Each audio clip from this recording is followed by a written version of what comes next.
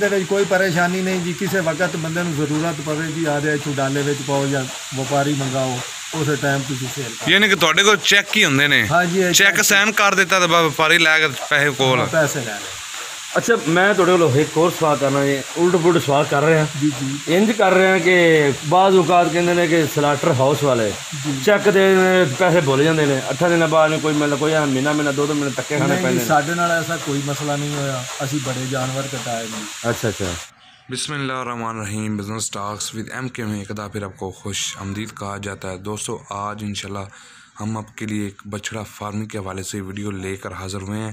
تو انشاءاللہ آج ہم آپ کو سلاٹر ہاؤس کے نام اور ان کے کچھ نمبر بھی بتائیں گے کہ آپ کون سے سلاٹر ہاؤس میں جا کے بچھڑے سیل کر سکتے ہیں۔ اور اس کے علاوہ بہت سی معلومات لیں گے اس بھائی سے۔ تو ویڈیو شروع کرنے سے پہلے جو لوگ چینل پہ نئے ہیں، چینل کو سبسکرائب کر لیں اور ساتھ گھنٹی کے نشان کو دبا دیں تاکہ ہمارے جو بھی نئی سے نئی ویڈیو آئے گا اس کا نوٹیفکیشن آپ تک پہنچے۔ دوستو اگر کوئی سوال ہو تو کمنٹ باکس میں کر دینا انشاءاللہ آپ کو جواب ضرور ملے گا اور فارمر سے بھی جواب لے کر دیں گے۔ دوستو ویڈیو شروع۔ السلام علیکم ورحمۃ اللہ وبرکاتہ۔ سر جی کی حال ہے؟ ٹھیک ٹھاک سب تو پہلے آپ کا نام دسو۔ محمد اقبال۔ محمد اقبال صاحب اے کیڑی جگہ جی قبولہ بائی پاس مدینہ گوشت عمران ਸਾਹਿਬ ਨਹੀਂ ਤਹਿਸੀਲੋ ਜ਼ਿਲ੍ਹਾ ਆਰਹ ਵਾਲਾ ਜ਼ਿਲ੍ਹਾ ਕਿਹੜਾ? ਆਰ ਨਹੀਂ ਜ਼ਿਲ੍ਹਾ ਪਾਕ ਪਟਨ। ਜ਼ਿਲ੍ਹਾ ਪਾਕਪਤਨ ਅੱਛਾ ਤੇ ਇਹ ਕਿੰਨੇ ਬੱਚੇ ਨੇ ਟੋਟਲ ਸਾਡੇ ਕੋਲ ਜੀ 100 ਤੇ 55 ਤੱਕ ਦੇ ਕਰੀਬ ਹੈ 150 ਸਾਲ ਦੇ ਕਰੀਬ ਨੇ? ਅੱਛਾ ਤੁਹਾਡਾ ਇਹਦਾ ਬੱਚਿਆਂ 'ਚ ਕਿੰਨੇ ਸਾਲ ਦਾ ਤਜਰਬਾ ਹੈ? ਇਹ ਜੀ 2005 ਦੇ ਤੋਂ ਸ਼ੁਰੂ ਕੀਤਾ 2005 ਤੋਂ? ਹਾਂਜੀ। ਮਾਸ਼ਾਅੱਲਾ ਜੀ। ਅੱਛਾ ਹੁਣ ਆਪਣੇ 2005 ਦਾ 15 ਸਾਲ ਦਾ ਤਜਰਬਾ ਮੇਰੇ ਦੋਸਤਾਂ ਭਰਾਵਾਂ ਨੂੰ ਸ਼ੇਅਰ ਕਰਨਾ ਹੈ। ਤੇ ਉਹ ਸ਼ੇਅਰ ਇਸ ਤਰੀਕੇ ਕਰਨਾ ਕਿ ਲੋਕ ਮੁਤਾਸਰ ਹੋਣ ਉਹਨਾਂ ਨੂੰ ਪਤਾ ਲੱਗੇ। ਫਸਟ ਆਲ ਪਰਚੇਜ਼ਿੰਗ ਦਾ ਕੀ ਤਰੀਕਾ ਹੋਣਾ ਚਾਹੀਦਾ ਇਹਨਾਂ ਬੱਚਿਆਂ ਦੇ ਹਵਾਲੇ ਨਾਲ? ਜਾਨਵਰ ਨੂੰ ਦੇਖਣਾ ਚਾਹੀਦਾ ਜੀ ਇੱਕ ਤਾਂ ਲਵਾ ਜਾਨਵਰ ਹੋਵੇ ਜੀ। ਜੀ ਜੀ। ਤੇ ਦੂਸਰਾ ਜੀ ਵਜ਼ਨ ਦੇ ਹਿਸਾਬ ਲੈਣਾ ਚਾਹੀਦਾ ਭਾਈ ਸਾਨੂੰ ਗੋਸ਼ਤ ਕੀ ਰੇਟ ਕਰਨਾ। ਅੱਛਾ। ਤੇ ਉਸ ਤੋਂ ਮਹਿੰਗਾ ਆਪਾਂ ਵਜ਼ਨ ਦੇ ਹਿਸਾਬ ਤੋਂ ਲਿਖਾਣਾ ਤੇ ਘਾਟੇ ਲਿਖਾਣਾ ਅੱਛਾ ਵਜ਼ਨ ਦੇ ਹਿਸਾਬ। ਹਾਂਜੀ ਵੀ 400 ਨੂੰ ਕਿਲੋ ਹੈ ਨਾ ਜੀ ਗੋਸ਼ਤ। ਹਾਂਜੀ। ਤੇ ਆਪਾਂ ਨੂੰ 400 10 ਰੁਪਏ ਪੈ ਜਾਣਗੇ 400 400 ਰੁਪਏ ਇੱਥੇ ਘਰੇ ਆਣ ਪਵੇਗੀ ਲਾਈਵ? ਹਾਂਜੀ। ਲਾਈਵ ਅੱਛਾ ਅੱਛਾ। ਤੇ ਤਾਂ ਤਾਂ ਜੀ ਬੱਚਾ ਤੇ ਜੇ ਆਪਾਂ ਸ਼ੁਰੂ ਤੋਂ ਜੀ ਇਹਦੀ ਪ੍ਰੈਸ ਤੇਜ਼ ਕਰ ਲਈਏ ਤੇ ਫਿਰ ਘਾਟਾ ਹੀ ਹੈ ਜੀ। ਹਾਂ ਬਿਲਕੁਲ ਬਿਲਕੁਲ ਜੀ ਅੱਛਾ ਤੁਸੀਂ ਇਹਨਾਂ 15 ਸਾਲਾਂ ਕੀ ਖੋਇਆ ਤੇ ਕੀ ਪਾਇਆ? ਅੱਛਾ ਇਹਨਾਂ ਨੂੰ ਪਾਣ ਵਾਸਤੇ ਨਹੀਂ ਜੀ ਨਹੀਂ। 15 ਸਾਲ ਆਖਰ ਇੰਨਾ ਚਿਰ ਦਾ ਹਾਂਜੀ, ਕਾਰੋਬਾਰ ਕਰ ਰਹੇ ਜੀ। 65 ਏਕੜ ਰਕਬਾ ਖਰੀਦਿਆ। ਇਹਨਾਂ ਬੱਚਾ ਕਰ ਹਾਂਜੀ ਅੱਛਾ ਜੀ। ਮਾਸ਼ਾਅੱਲਾ ਜੀ ਬੜਾ ਅੱਛਾ। ਤੇ ਮੈਂ ਹੁਣ ਤੁਸੀਂ ਮੈਨੂੰ ਇਹ ਦੱਸਣਾ ਹੈ ਕਿ ਆਪਦੇ ਸੋਹਣੀਆਂ ਗੱਲਾਂ ਦੇ ਨਾਲ ਜੀ। ਇਹਨਾਂ ਨੂੰ ਕੀ ਕੀ ਚੀਜ਼ ਖਵਾਉਂਦੇ ਜੇ ਕਿੰਨੇ ਅਰਸੇ ਵਾਸਤੇ ਇਹਨਾਂ ਰੱਖਦੇ ਜੇ? ਤੇ ਕਿੰਨੀ ਦੇਰ ਬਾਅਦ ਇਹਨਾਂ ਨੂੰ ਸੇਲ ਕਰਦੇ ਜੇ? ਇਹ ਵੀ ਜ਼ਰਾ ਅਹ, ਖੋਲ ਕੇ ਦੱਸੋ। ਅਸੀਂ ਜੀ ਤੂੜੀ ਤੇ ਵੰਡਾ ਪਾਣੇ ਆ ਜੀ। ਅੱਛਾ। ਕੋਈ ਸਬਰ ਚਾਰਾ ਨਹੀਂ ਪਾਣੇ ਸਭ ਬਚਾਰਾ ਨਹੀਂ ਪਾਣੇ ਤੂੜੀ ਦੇ ਬੰਡਾ ਤੂੜੀ ਤੇ ਵੰਡਾ ਪਾਣੇ ਅੱਛਾ ਅੱਛਾ। ਤੇ ਅਸੀਂ 3 ਮਹੀਨੇ ਰੱਖਣੇ ਆ ਜੀ। ਅੱਛਾ। ਤੇ ਕੋਈ ਐਸਾ ਟਾਈਮ ਆ ਜਾਂਦਾ ਜਨਵਰੀ ਫਰਵਰੀ ਮਾਰਚ ਵਿੱਚ ਅਠਾਈਆਂ ਮਹੀਨਾ ਵਿੱਚ ਵੀ ਜੀ ਜਾਨਵਰ ਤਿਆਰ ਹੋ ਜਾਂਦਾ ਤਾਈ ਮਹੀਨੇ। ਅੱਛਾ ਤੁਸੀਂ ਬੱਚਾ ਕਿੰਨੀ ਉਮਰ ਦਾ ਲੈਂਦੇ ਆ? ਕਿੰਨੇ ਵਜ਼ਨ ਦਾ ਲੈਂਦੇ ਜੇ? ਵਜ਼ਨ ਜੀ ਹੋਵੇ ਕਮ ਅਜ਼ ਕਮ ਡੇਢ ਮਣ ਤੋਂ 2 ਮਣ ਦੇ ਕਰੀਬ। ਤੁਸੀਂ ਇਹਨਾਂ ਲੈਂਦੇ ਜੇ ਹਾਂਜੀ। ਤੋ ਉਹ ਇਹਨਾਂ 150 ਮਨ 150 ਕਿਲੋ ਯਾਨੀ ਕਿ ਇਹ ਤਿੰਨਾਂ ਮਹੀਨਿਆਂ 'ਚ ਅਸੀਂ ਇਹਨੂੰ 3 ਮਣ ਤੋਂ ਉੱਪਰ ਕਰ ਲੈਂਦੇ ਹਾਂ। ਤੋ ਕੋਈ ਛੋਟਾ ਬੱਚਾ ਤੁਸੀਂ ਖਰੀਦਿਆ ਜੇ। ਜੀ। ਤੋ ਇਹਨੇ ਕੋਈ ਬਿਮਾਰੀ ਨਹੀਂ ਆਉਂਦੀ ਬਿਮਾਰੀ ਦੀ ਅਸੀਂ ਪਹਿਲੀ ਸੱਟੇ ਉੱਤੇ ਨਿਰਗਾਨ ਇਹਨਾਂ ਨੂੰ ਦਵਾਈ ਪਿਵਾਣੇ ਆ ਜੀ। ਉੱਥੇ ਹੀ ਪਿਆ ਦਿੰਦੇ ਉੱਥੇ ਦਿੰਦੇ ਹਾਂ। ਅੱਛਾ ਅੱਛਾ। ਤੇ ਫਿਰ ਆਣ ਤੇ ਜੀ ਅਸੀਂ ਇਹਨਾਂ ਨੂੰ ਮੂੰਹ ਖੋਰ ਗਾਲ ਗੋਟੂ ਤੇ ਇਹ ਚਿਚੜਾਂ ਦੇ ਟੀਕੇ ਜੀ ਉਹ ਸਾਰੇ ਅਸੀਂ ਲਗਾ ਦਿੰਦੇ ਡਿਵਰਮਿੰਗ ਸਾਰੀ ਪਹਿਲੇ ਟਾਈਮ ਹੀ ਕਰ ਹਾਂ ਲੈਂਦੇ। ਟਾਈਮ ਹੀ ਕਰ ਦਿੰਦੇ ਹਾਂ ਤੇ ਖੁਦਾ ਦੇ ਫਜ਼ਲ ਨਾਲ ਸਾਡੇ ਜਾਨਵਰਾਂ ਨੂੰ ਕਦੇ ਬਿਮਾਰੀ ਨਹੀਂ ਲੱਗੀ ਮੰਡੀਆਂ ਕਿਹੜੀਆਂ ਤੋਂ ਲਿਆਂਦੇ ਦੇ ਮੰਡੀ ਜੀ ਮਦਰਸਾ ਕਰਨੇ ਆ ਬਾਵਲ ਨਗਰ ਕਰਨੇ ਆ ਸ਼ਬਾਜ਼ ਵਾਲਾ ਕਰਨੇ ਆ ਮੁਲਤਾਨ ਕਰਨੇ ਆ। ਇਹਨਾਂ ਵਿੱਚੋਂ ਸਭ ਤੋਂ ਅੱਛੀ ਸੋਹਣੀ ਮੰਡੀ ਕਿਹੜੀ ਹੈ? ਜਿੰਦੇ ਰੇਟ ਵੀ ਘੱਟ ਹੋਣ। ਇਹ ਜੀ ਜਾਨਵਰ ਦਾ ਫ਼ਰਕ ਹੁੰਦਾ ਹੈ ਜੀ ਜਿਹੜਾ ਜਾਨਵਰ ਜੀ ਮੁਲਤਾਨ ਦਾ ਹੈ ਨਾ ਜੀ ਹਾਂਜੀ। ਉਹਦਾ ਰੇਟ ਘੱਟ ਹੁੰਦਾ ਹੈ ਉਹ ਵਜ਼ਨ ਥੋੜਾ ਬਣਾਉਂਦਾ ਜਿਹੜਾ ਮੰਦਰਸਾ ਮੰਡੀ ਹੈ ਜੀ ਉਹਦੇ ਤੋਂ ਜਾਨਵਰ ਖਰੀਦ ਲਈਏ ਨਾ ਜੀ ਵਜ਼ਨ ਜ਼ਿਆਦਾ ਬਣਾਉਂਦਾ। ਹੈ ਤੁਸੀਂ ਬਾਵਲ ਇਸ ਨਗਰ ਬਹਾਵਲਪੁਰ ਮੰਡੀ ਤੇ ਜਾਂਦੇ ਤੇ? ਬਾਵਲ ਨਗਰ। ਬਾਵਲ ਨਗਰ ਜਾਂਦੇ? ਉਹ ਤੇ ਬਿਲਕੁਲ ਨਜ਼ਦੀਕ ਨਹੀਂ ਤੁਹਾਡੇ? ਨਜ਼ਦੀਕ ਹੈ ਜੀ। ਠੀਕ ਹੋ। ਅੱਛਾ ਇਸ ਤੋਂ ਬਾਅਦ ਇਹ ਦੱਸੋ ਕਿ ਬਹਾਵਲ ਨਗਰ ਜਾਂ ਇਸ ਲਾਹੌਰ ਮੰਡੀ ਕਦੀ ਨਹੀਂ ਵਿਜ਼ਿਟ ਕੀਤਾ ਤੁਸੀਂ? ਹੋਰ ਜੀ ਉੱਥੇ ਜ਼ਿਆਦਾ ਬਲੈਤੀ ਕਰਾਸ ਹੁੰਦਾ ਜੀ। ਉਹ ਗਰਮੀਆਂ 'ਚ ਇੱਥੇ ਨਹੀਂ ਜੀ। ਤੁਸੀਂ ਕਿਹੜੀ ਨਸਲ ਦੇ ਬੱਚੇ ਪਸੰਦ ਕਰਦੇ ਹੋ ਜ਼ਿਆਦਾ? ਜੀ ਕਰਾਸ ਬੱਚਾ ਲੈਂਦੇ ਆ ਜੀ ਦੇਸੀ ਦਾ ਕਰਾਸ। ਦੇਸੀ ਦੇ ਕ੍ਰਾਸ? ਹਾਂਜੀ। ਅੱਛਾ ਬੱਚਿਆਂ ਦਾ ਟਾਰਗੇਟ ਕਿੰਨੀ ਦੇਰ ਦਾ ਹੁੰਦਾ ਤੁਹਾਡਾ? ਵਾਲਾ ਹੋਵੇ ਜੀ ਨਾਫ ਵਾਲਾ ਬੱਚਾ। ਨਾਫ ਵਾਲਾ ਹਾਂਜੀ। ਅੱਛਾ ਟਾਰਗੇਟ ਕਿੰਨੀ ਦਿਨ ਦਾ ਹੁੰਦਾ? ਹੈ 90 ਦਿਨ 3 ਮਹੀਨਿਆਂ ਦਾ ਜਾਂ 2 ਮਹੀਨਿਆਂ ਦਾ? ਇਹ ਜੀ ਜਨਵਰੀ ਫਰਵਰੀ ਵਿੱਚ ਅਹ, ਅਸੀਂ 2 ਮਹੀਨਿਆਂ ਵਿੱਚ ਸੇਲ ਕਰਦੇ ਰਹੇ ਹਾਂ। ਤੇ ਜ਼ਿਆਦਾ ਤੋਂ ਜ਼ਿਆਦਾ 3 ਮਹੀਨੇ ਉੱਤੇ 5-10 ਦਿਨਾਂ ਬਾਅਦ ਅਸੀਂ ਸੇਲ ਕਰਦੇ ਹਾਂ। ਠੀਕ ਹੋ ਗਿਆ ਅੱਛਾ ਜੀ। ਮੇਰਾ ਸਵਾਲ ਇਹ ਹੈਗਾ ਭਾਈ ਕਿ ਜਿਹੜੇ ਤੁਸੀਂ ਬੱਚੇ 3 ਮਹੀਨੇ ਰੱਖਦੇ ਜੇ ਜੀ। ਤਿੰਨਾਂ ਮਹੀਨਿਆਂ ਬਾਅਦ ਕਿਹੜੀ ਜਾਂ ਸੇਲ ਕਰਦੇ ਜੇ? ਉਹ ਜੀ ਇੱਥੇ ਵੀ ਸੇਲ ਹੋ ਜਾਂਦੇ ਨੇ ਸਲਾਟਾ ਤੇ ਹੀ ਹੋ ਜਾਂਦੇ ਨੇ ਮੰਗਾ ਮੰਡੀ ਫੈਕਟਰੀਆਂ ਰੈਵੈਂਡ ਰੈਵਨ ਹਾਂਜੀ ਹਾਂਜੀ। ਉੱਥੇ ਵੀ ਸੇਲ ਹੋ ਜਾਂਦੇ ਅੱਛਾ ਰੈ ਸਲਾਟਰ ਹਾਊਸ ਵਿੱਚ ਕਿਹੜੀ ਕਿਹੜੀ ਮੁਸ਼ਕਲਾਤ ਆਂਦੀ ਹੈ ਕੋਈ ਮੁਸ਼ਕਲਾਤ ਨਹੀਂ ਜੀ ਇੱਥੋਂ ਲੋਡਿੰਗ ਕਰੋ ਜੀ। ਹਾਂਜੀ। ਉੱਥੇ ਜਨਾਬ ਉਹਨਾਂ ਦੇ ਵਾੜੇ ਬਣੇ ਹੋਏ ਨੇ ਜੀ। ਹਾਂਜੀ। ਉਹਨਾਂ ਦੇ ਵਿੱਚ ਡੱਕ ਦਿਓ ਜੀ। ਉਹਦੇ ਨੰਬਰ ਵਾਈਜ਼ ਕੰਮ ਸ਼ੁਰੂ ਹੋ ਜਾਂਦਾ ਹੈ ਜੀ। ਹਾਂਜੀ। ਅਰਮਾਨ ਨਾਲ ਜੀ ਤੁਸੀਂ ਖੜੇ ਰਹੋ ਜੀ ਉਹ ਕਟਿੰਦੇ ਜਾਂਦੇ ਨੇ ਜੀ।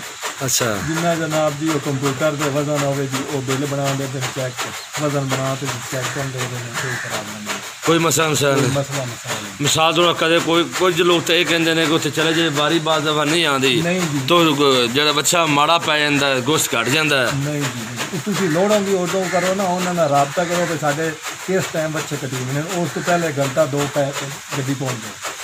ਅੱਛਾ ਕਿਹੜੀ ਫੈਕਟਰੀ ਵਾਲਿਆਂ ਨੂੰ ਦੇਣੇ ਜ਼ਿਆਦਾ ਤੁਸੀਂ? ਇਹ ਜੀਨਾ ਤਾਲਾ ਨੂੰ ਕੈਟਕੋ ਵਾਲਾ ਨੂੰ ਤੇ ਇੱਕ ਹੋਰ ਹੈ ਜੀ ਤਿੰਨ ਨੇ ਉੱਥੇ ਅੱਛਾ ਉਹਨਾਂ ਨੂੰ ਦੇਤੇ ਆਂਦੇ ਜੀ। ਹਾਂਜੀ। ਅੱਛਾ ਕੀ ਰੇਟ ਤੁਸੀਂ ਦਿੰਦੇ ਜੀ ਬੱਚੇ? ਅਸੀਂ ਜੀ ਅੱਗੇ ਤਾਂ ਦਿੰਦੇ ਰਹੇ ਹਾਂ ਜੀ ਗੋਸ਼ਤ 450 450 ਨੂੰ। ਹਾਂਜੀ। ਅੱਛਾ ਤੇ ਹੁਣ? ਅਗਰ ਜ਼ਿੰਦਾ ਲਵਣ ਤਾਂ ਉਹ 225 30 ਰੁਪਏ ਲੈ ਲੈਣ ਜ਼ਿੰਦਾ ਐਵੇਂ ਜਾਂਦਾ ਜੀ। 225 30 ਹਾਂਜੀ। ਮੰਗੇ ਮੰਡੀ ਤੇ ਜਿਹੜੇ ਤੁਸੀਂ ਤੁਸੀਂ ਜ਼ਿਕਰ ਕਰ ਰਹੇ ਜੀ ਉਹ ਤਾਂ ਡਾਕਟਰ ਫਾਨ ਤਾਂ ਨਹੀਂ ਕਰੇ? ਕੋਈ ਡਾਕਟਰ ਅਫਾਨ ਵੀ ਹੈ ਤੇ ਹੋਰ ਵੀ ਹਨ ਦੋ ਤਿੰਨ ਘਰ ਹਨ ਅੱਛਾ ਤੇ ਉੱਥੇ ਦੀ ਉਹ ਕਸਾਈ ਵੀ ਲੈ ਲੈਂਦੇ ਨੇ ਉਹ ਉਹ ਆਗੇ ਲੈ ਲੈਂਦੇ ਨੇ ਉਹ ਅੱਗੇ ਉੱਥੇ ਕਟਵਾ ਦੇਣ ਜੀ ਉਹ ਘਾਟਾ ਵਾਦਾ ਉਹਨਾਂ ਦਾ ਜੀ। ਉਹ ਤੇ ਮੌਕੇ ਤੇ ਹਾਂ ਮੌਕੇ ਤੇ ਹੀ ਲੈ ਲੈਂਦੇ। ਕਸਾਈ ਲੈ ਲੈਂਦੇ ਨੇ। ਤੇ ਕਸਾਈ ਪੈਸੇ ਨਗਦ ਦੇ ਦਿੰਦੇ ਨੇ ਪੈਸੇ ਜੀ ਉਹ ਕਈ ਕਸਾਈ ਜਿਹੜਾ ਵਾਕਿਫ ਹੋਵੇ ਚਲੋ ਉਹ ਕੋਈ ਟਾਈਮ ਲੈ ਲੈਂਦਾ ਜੋ ਜਿਹੜਾ ਵਾਕਿਫ ਨਾ ਹੋਵੇ ਉਹ ਪੈਸੇ ਦੇ ਦਿੰਦਾ ਅੱਛਾ ਆ। ਸ਼ੈੱਡ ਦਾ ਤਕਰੀਬਨ ਕਿੰਨੇ ਮਰਲੇ ਦਾ ਸ਼ੈੱਡ ਹੈ? ਇਹ ਜੀ ਇੱਕ ਨਾਲ ਏਕੜ ਹੋਵੇ ਨਾ ਤਾਂ ਉਹਦੇ ਵਿੱਚ 40 ਬੱਚਾ। ਆ ਜਾਂਦਾ। ਆ ਜਾਂਦਾ ਇੱਕ ਨਾਲ ਜਗ੍ਹਾ ਹੋਵੇ। ਹਾਂਜੀ 20 ਮਰਲੇ ਹੋਵੇ ਜੀ। 20 ਮਰਲੇ ਉਹਦੇ ਵਿੱਚ 40 ਬੱਚਾ ਖੁੱਲਾ ਡੁੱਲਾ ਆ ਜਾਂਦਾ। 40 ਬੱਚਾ। ਆ ਜਾਂਦਾ। ਲੇਕਿਨ ਸਫ਼ਾਈ ਦੇ ਲਿਹਾਜ਼ ਨਾਲ ਮੈਂ ਥੋੜਾ ਥੋੜਾ ਜਾਣਾਗਾ। ਇਹ ਬਾਰਿਸ਼ ਦੀ ਵਜ੍ਹਾ ਨਾਲ ਮਸਲੇ ਮਸਾਲ ਹਾਂਜੀ, ਬਣੇ। ਬਾਰਿਸ਼ ਦੀ ਬਹੁਤ ਹੋਈ ਹੈ। ਜਗ੍ਹਾ ਸੁੱਕਦੀ ਹੀ ਨਹੀਂ। ਆ ਨਹੀਂ ਨਾ ਅੱਗੇ- ਟਰੈਕਟਰ ਅੰਦਰ ਆ ਸਕਦਾ ਹੈ ਜੀ। ਤੇ ਬੜਾ ਮਸਲਾ ਹੈ ਜੀ ਇਹ ਬਾਰਿਸ਼ ਦਾ। ਅੱਛਾ ਅੱਛਾ ਬਾਰਿਸ਼ ਦੀ ਵਜ੍ਹਾ ਤੋਂ।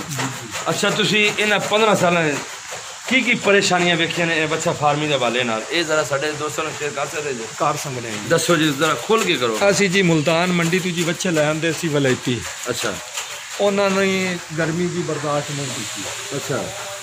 ਉਹਨਾਂ ਨੂੰ ਜੀ ਬਿਮਾਰੀ ਆ ਗਈ ਤੇ ਬੜੇ ਅਸੀਂ ਸਾਡੇ ਬੱਚੇ ਵਿੱਚ ਮਰ ਗਏ। ਅੱਛਾ ਅੱਛਾ। ਵਲੈਤੀ ਲੈ ਸੀ।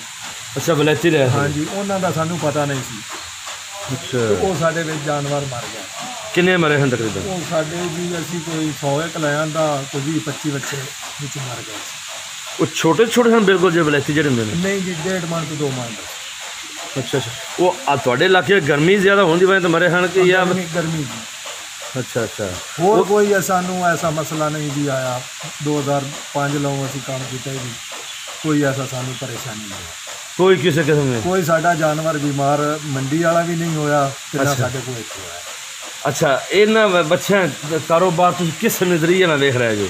ਕਿਸ ਤਰੀਕੇ ਕਾਰੋਬਾਰ ਨੂੰ ਦਿਵੇਂ ਦੇ ਜੇ? ਅਸੀਂ ਜੀ ਪਹਿਲੇ ਵਜ਼ਨ ਵੇਖਨੇ ਆ ਨਹੀਂ ਨਹੀਂ ਕਾਰੋਬਾਰ ਦੇ ਲਿਹਾਜ਼ ਨਾਲ। ਕੰਮ ਕਿਸ ਤਰੀਕੇ ਦਾ ਹੈਗਾ ਇਹ? ਚੰਗਾ ਸੋਹਣਾ ਅੱਛਾ ਅੱਛਾ ਹੈ ਜੀ ਅੱਛਾ ਹੈ ਜੀ। ਅੱਛਾ ਕਾਰੋਬਾਰ ਹੈ। ਹਾਂਜੀ ਇਹਦੇ ਵਿੱਚ ਕੋਈ ਪਰੇਸ਼ਾਨੀ ਨਹੀਂ ਜੀ ਕਿਸੇ ਵਕਤ ਬੰਦੇ ਨੂੰ ਜ਼ਰੂਰਤ ਪਵੇ ਜੀ ਆ ਜਾਏ ਇੱਥੋਂ ਡਾਲੇ ਵਿੱਚ ਪਾਓ ਜਾਂ ਵਪਾਰੀ ਮੰਗਾਓ ਉਸੇ ਟਾਈਮ ਤੁਸੀਂ ਸੇਲ ਕਰੋ। ਯਾਨੀ ਕਿ ਤੁਹਾਡੇ ਕੋਲ ਚੈੱਕ ਹੀ ਹੁੰਦੇ ਨੇ। ਹਾਂਜੀ ਇਹ ਚੈੱਕ ਸਾਈਨ ਕਰ ਦਿੱਤਾ ਤਾਂ ਵਪਾਰੀ ਲੈ ਕੇ ਪੈਸੇ ਕੋਲ। ਪੈਸੇ ਲੈ ਲਓ ਅੱਛਾ ਮੈਂ ਤੁਹਾਡੇ ਕੋਲ ਇੱਕ ਹੋਰ ਸਵਾਲ ਕਰਨਾ ਜੀ। ਉਲਟ ਪੁਲਟ ਸਵਾਲ ਕਰ ਰਿਹਾ ਜੀ ਜੀ। ਇੰਜ ਕਰ ਰਹੇ ਆ ਕਿ ਬਾਜ਼ ਔਕਾਤ ਕਹਿੰਦੇ ਨੇ ਕਿ ਸਲਾਟਰ ਹਾਊਸ ਵਾਲੇ ਚੈੱਕ ਦੇ ਨੇ, ਪੈਸੇ ਭੁੱਲ ਜਾਂਦੇ ਨੇ। ਅੱਠਾਂ ਦਿਨਾਂ ਬਾਅਦ ਕੋਈ ਮਤਲਬ ਕੋਈ ਆ ਮਹੀਨਾ ਮਹੀਨਾ ਦੋ ਦੋ ਮਹੀਨੇ ਧੱਕੇ ਖਾਣੇ ਪੈਂਦੇ ਨੇ। ਸਾਡੇ ਨਾਲ ਐਸਾ ਕੋਈ ਮਸਲਾ ਨਹੀਂ ਹੋਇਆ। ਅਸੀਂ ਬੜੇ ਜਾਨਵਰ ਕਟਾਏ ਜੀ ਅੱਛਾ ਅੱਛਾ। ਤੇ ਸਾਡੇ ਨਾਲ ਐਸਾ ਕੋਈ ਮਸਲਾ ਨਹੀਂ। ਕੋਈ ਮਸਲਾ ਨਹੀਂ ਤੁਹਾਨੂੰ ਚੈੱਕ ਦੇਣੇ ਤੁਸੀਂ ਬੈਂਕੇ ਜਾ ਕੇ ਪੈਸੇ ਕਢਵਾ ਕੇ ਲੈ ਕੇ। ਗੁੱਡ ਹੋ ਗਿਆ। ਮਾਸ਼ਾਅੱਲਾ ਜੀ। ਅੱਛਾ ਤੇ ਬੱਚਿਆਂ 'ਚ ਤੁਸੀਂ ਕੀ ਕੀ ਪਾਇਆ ਹੈ? ਕ- ਕਾਰੋਬਾਰ ਕਰਨ ਦੇ ਵਿੱਚ।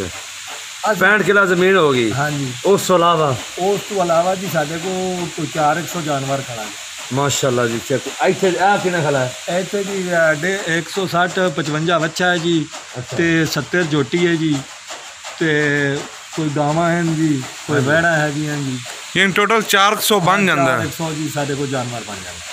ਮਾਸ਼ਾਅੱਲਾ। ਬੇ ਆਪਣੇ ਭਰਾਵਾਂ ਦੋਸਤਾਂ ਜਿਹੜੇ ਤੁਹਾਡੀ ਵੀਡੀਓ ਵੇਖਦੇ ਪਏ ਉਹਨਾਂ ਨੂੰ ਕੀ ਮਸ਼ਵਰਾ ਦਿਓਗੇ ਕਾਰੋਬਾਰ ਉਹਨਾਂ ਦਾ ਨੂੰ ਕਰੋ ਜੀ ਮਸ਼ਵਰਾ ਦਿਓ ਜੀ ਜਿਹੜਾ ਦੂਧ ਵਾਲਾ ਕਾਰੋਬਾਰ ਹੈ ਨਾ ਜੀ ਗਾਈਆਂ ਵਾਲਾ। ਹਾਂਜੀ। ਬਹੁਤ ਮੁਸ਼ਕਿਲ ਹੈ ਜੀ। ਅੱਛਾ। ਉਹਦੇ ਵਿੱਚ ਬੜੀ ਪਰੇਸ਼ਾਨੀ ਆਉਂਦੀ ਹੈ ਜੀ। ਹਾਂਜੀ। ਗਾਂ ਜੀ ਥਣਾ ਥਣ ਮਾਰ ਜਾਂਦੀ ਹੈ ਜੀ। ਹਾਂਜੀ। ਉਹ 3-3 4-4 ਲੱਖ ਦੀ ਗਾਂ ਆਉਂਦੀ ਹੈ ਜੀ। ਤੇ ਲੱਖ ਤੇ ਆ ਜਾਂਦੇ। ਉਹ ਜੀ ਬੜਾ ਨੁਕਸਾਨ ਦਿੰਦੀ ਹੈ ਤੇ ਉਹਨੇ ਬਿਹਤਰ ਬੱਚਾ ਫਾਰਮ ਉਹ- ਉਹਨਾਂ ਨਾਲ ਜੀ ਬੱਚਾ ਲੈ ਲਓ ਨਾ ਜੀ ਪਹਿਲੀ ਸੱਟੇ ਇਹਨਾਂ ਨੂੰ ਜੀ ਟੀਕੇ ਸੀਕੇ ਲਵਾ ਦਿਓ ਜੀ। ਤੇ ਪਰੇਸ਼ਾਨੀ ਕੋਈ ਨਹੀਂ ਆਉਂਦੀ। ਸੁੱਕਾ ਜੀ ਆ ਕੰਮ ਹੈ ਜੀ। ਅਹ, ਦੋ ਤਿੰਨ ਸੌ ਜਾਨਵਰ ਹੋਵੇ ਨਾ ਤਿੰਨ ਚਾਰ ਬੰਦੇ ਉਹ ਕਰ ਕੰਮ ਕਰ ਸਕਦੇ। ਅੱਛਾ ਇੱਕ ਮਾੜਾ ਬੰਦਾ ਹੈ। ਉਹ ਕਿੰਨੇ ਕੁ ਬੱਚਿਆਂ ਤੋਂ ਕੰਮ ਸ਼ੁਰੂ ਕਰੇ? ਉਹਨੂੰ ਨੁਕਸਾਨ ਹੀ ਹੋਵੇ ਬਸ ਸਿਰਫ ਫਾਇਦਾ ਥੋੜਾ ਬਹੁਤ ਪੈਸੇ ਹੁੰਦੇ ਚੋਂ ਬਚਤ ਹੋ ਸੇ ਕਮ 50 ਬੱਚੇ ਤੂੰ ਥੱਲੇ ਨਹੀਂ ਹੋਣੇ। ਪੰ- ਮਾੜਾ ਬੰਦਾ 50 ਬੱਚੇ ਰੱਖ ਨੇ 10 20 ਵੀ ਰੱਖ ਸਕਦਾ। ਭਾਈ ਜਾਨੋ ਜੇ ਥੋੜੇ ਬੱਚੇ ਰੱਖਸੀ ਨਾ ਜੀ ਉਹਨੂੰ ਨੁਕਸਾਨ ਹੋ ਖਰਚੇ ਜ਼ਿਆਦਾ ਖਰਚਾ ਜ਼ਿਆਦਾ ਹੋ ਸੀ ਪਰ ਆਫਤ ਥੋੜੀ ਹੋ ਸੀ। ਇੱਕ ਮਜ਼ਦੂਰ ਨੌਕਰ ਰੱਖਦਾ ਜੀ। ਅੱਛਾ। 12000 ਉਹ ਲੈਂਦਾ ਜੀ। 12000 ਉਹ ਲੈਂਦਾ। ਉਹ ਤਿੰਨਾਂ ਮਹੀਨਿਆਂ ਦਾ ਉਹ 36000 ਤੋਂ ਉਹਦਾ ਬਣ ਜਾਂਦਾ 36000 ਹੁੰਦਾ ਹੋ ਗਿਆ। ਤੇ ਜੇ ਚੋਖੇ ਜਾਨਵਰ ਜਿਤਨੇ ਜ਼ਿਆਦਾ ਜਾਨਵਰ ਉਸ ਹਨ 100 ਰੱਖ ਲਵੇ ਨਾ 100 ਦੇ ਵਿੱਚ ਦੋ ਬੰਦੇ ਹੁੰਦੇ। ਲਾਜ਼ਮੀ ਨੇ। ਹਾਂਜੀ। ਤੇ 100 ਦੀ ਪ੍ਰਾਫਟ 10000 ਫੀ ਬੱਚਾ ਵੀ ਛੱਡੇ ਨਾ 10 ਲੱਖ ਰੁਪਈਆ ਬਚਦਾ। ਹੈ ਬਿਲਕੁਲ। ਇੱਕ ਮਾਮੂਲੀ ਜਿਹੀ ਹੈ। ਬਿਲਕੁਲ। ਅਸੀਂ ਜੀ ਪਹਿਲੇ ਤਾਂ ਲੈਂਦੇ ਰਹੇ ਹਾਂ 24 25 ਤਾਈਂ। ਹੁਣ ਅਸੀਂ ਲੈਂਦੇ ਪਏ ਜੀ ਅਹ, 28 29 30 ਤਾਈਂ। ਅੱਛਾ। 28000 29 ਦਾ 30 ਦਾ। ਕਿੰਨਾ ਮਹੀਨਾ ਬਾਅਦ ਡਬਲ ਹੋ ਜਾਂਦਾ। ਜੇ 24 ਵਾਲਾ ਲੈਂਦੇ ਆ ਉਹ 48 50 ਦਾ ਹੋ ਜਾਂਦਾ। ਤੇ ਖਰਚਾ ਕੱਢ ਕੇ 10 15 ਬਚ ਜਾਂਦਾ। ਮੈਂ ਤੁਹਾਨੂੰ ਦੱਸਣਾ ਨਾ ਜੀ ਤੁਸੀਂ ਥੁੱਲਾ ਜਿਹਾ ਲਾ ਲਓ। ਅੱਧ ਖਰਚਾ ਤੇ ਅੱਧ ਪ੍ਰਾਫਟ ਤੇ 24000 ਬਚਾ ਹੈ ਨਾ ਜੀ ਹਾਂਜੀ। 12000 ਤੁਸੀਂ ਖਰਚਾ ਕੱਢ ਲਓ 12000 ਤੋਂ ਵੱਧ ਤਿੰਨਾਂ ਮਹੀਨਿਆਂ 'ਚ ਬੱਚਾ ਨਹੀਂ ਖਾ ਸਕਦਾ। ਬਿਲਕੁਲ। ਬਲਕਿ ਥੋੜੇ ਜ਼ਿਆਦਾ ਬੱਚਿਆਂ ਨੂੰ ਥੋੜੇ ਪੈਸੇ ਲੱਗਦੇ ਨੇ। ਹਾਂਜੀ। ਤੇ ਅ, 12000 ਵੀ ਜੀ ਬੱਚਾ ਛੱਡੇ ਨਾ ਤੇ 12 ਅ, 100 ਬੱਚਾ ਹੋਵੇ 12 ਲੱਖ ਰੁਪਈਆ ਬਣਦਾ। ਜੇ 400 ਬੱਚਾ ਹੋਵੇ ਜਾਂ 300 ਬੱਚਾ ਹੋਵੇ ਤੇ ਇਵੇਂ ਇਵੇਂ ਅਗਾ ਅਗਾ ਜੀ। ਫਿਰ ਤਾਂ 65 ਕਿੱਲੇ ਮਾਸ਼ਾਅੱਲਾ ਆਉਣੀ ਆਉਣੀ ਇੱਕ ਸਾਲ ਵਿੱਚ ਬਲਕਿ ਤਿੰਨਾਂ ਮਹੀਨਿਆਂ 'ਚ। ਪੈ- ਅਸੀਂ ਪਹਿਲੀ ਸੱਟੇ ਜੀ ਵੀਗੋ ਡਾਲਾ ਲਿਆ ਜੀ। ਅੱਛਾ। ਮਾਸ਼ਾਅੱਲਾ। 40 50 ਲੱਖ ਦਾ ਜੀ। ਫਿਰ ਜੀ ਅਸੀਂ ਕੀਤਾ ਜੀ ਇਹ ਵੇਚ ਦਈਏ ਜੀ ਤੇ ਕਾਰੋਬਾਰ ਮੋੜੋ ਪਾ ਪਾ ਦਿੱਤੇ ਮੋੜ ਜਾਨਵਰ ਦੀ ਬਤਾ ਦਿੱਤੇ।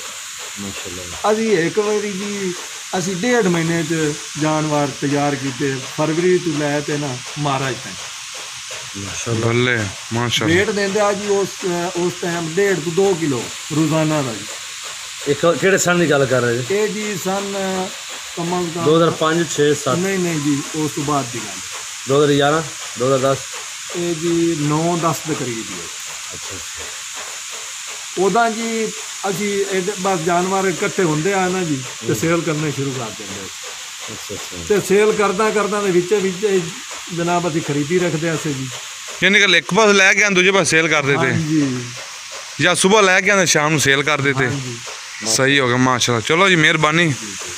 بہت مہربانی، شکریہ۔